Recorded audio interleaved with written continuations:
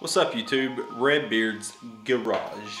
Uh, got the 4G63 all done as you probably seen on the end of the last video. Well, when I put the um, part two of that video up, you'll find a few things. So what happened was uh, I got the boost dialed in. I was running it for now at 13 pounds of boost because it was it was running a little bit lean so I didn't want to uh, you know cause any problems from that so I didn't want to get in higher RPMs so I was getting like I got up to 5,000 RPMs once and uh, kind of cut out all of a sudden. But then uh, I mean it was like it didn't get gas for one second. I don't know if that was a problem because of the lean thing. So I was like okay I'm done I'm gonna go home and uh, set the camera down.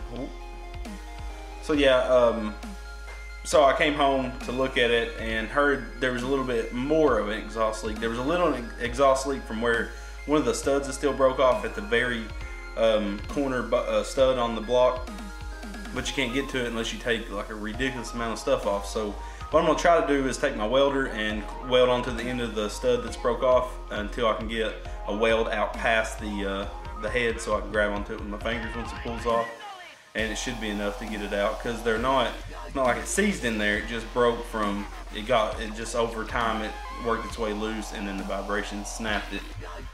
So I knew it had an exhaust leak from that so when I pulled into the garage uh, I heard or in front of my garage I heard it was a little louder and that shitty exhaust manifold that I've been the whole problem to this whole build has been that exhaust manifold. I went cheap it was like 90 bucks on eBay I knew I was going to replace it later with a good cast one uh, because the pipe ones, the name brand pipe ones are like $1,200 and that's ridiculous for a header. You know, there's no way I would spend that ever. So the cast, they make a real nice, uh, I think it's Forged Performance, maybe that's the brand, makes a real nice cast. It's already ported and everything from stock.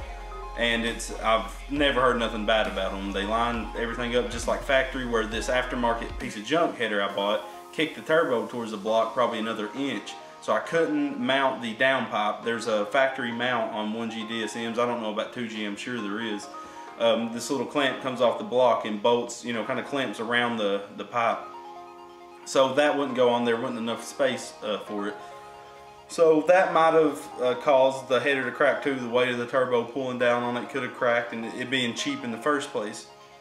But it split one of the pipes. So what my plans are is to pull it off, buy the cast one and a Mitsubishi OEM uh, gasket because I've heard they're they're the best to get. They're better than any aftermarket one. And uh, it'll take a little bit before I can get that header. I'll throw up, I'm gonna, actually I'm, I'm sure what you've seen ahead.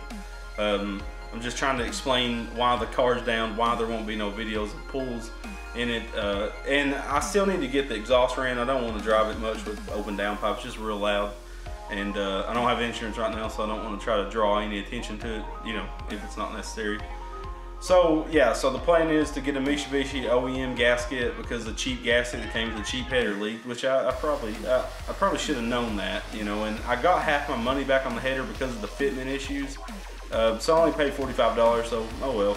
You know it's a, it's a dead header now. It's going to go up on my wall with my other uh, various car parts. So once I get the, the header and that gasket and the rest of the exhaust ran and the muffler put on and everything, then we'll do some true pulls. I'm getting a GoPro so we'll be able to strap a few GoPros to it and uh, see how she pulls. So pretty excited. We're gonna start doing some upgrades on the Nissan very soon, so I'm gonna start filming that. Sorry guys, I'm not putting videos up. I'm really trying. I'm doing a lot of new stuff at work and trying to just get, you know, figure everything out. So we'll get everything back under control. And I really I'm shooting for three videos a week whether they're vlogs what I'm doing messing around. I'm going to put part two of the cooler up very soon. I'm going to make that shoot that video tomorrow edit it up Monday and uh, have it uploaded for you uh, Monday before I leave from my office. Uh, so yeah I'll try to get more videos out as soon as possible. I'm going to show how to take the rear bumper off an Escape. I got another one Escape. I'm putting a uh, drop hitch on. So or a trailer hitch, whatever. Um, I'll show you how to install one on an SUV. It's probably going to be different with every SUV, but it might help someone out in the long run. So look forward to more videos. I'm sorry guys, I haven't had um, more videos coming out. I, I, gotta get on this because uh, this is going to be one of my main focuses is this YouTube channel. So don't forget to like, comment, subscribe. Thanks for hanging in there, guys. This project's been a pain in the ass, but it's a car project. That's what they do. Uh, hopefully, get it all worked out, get everything squared up, and uh, hope to see see you on the next one. Thanks, guys.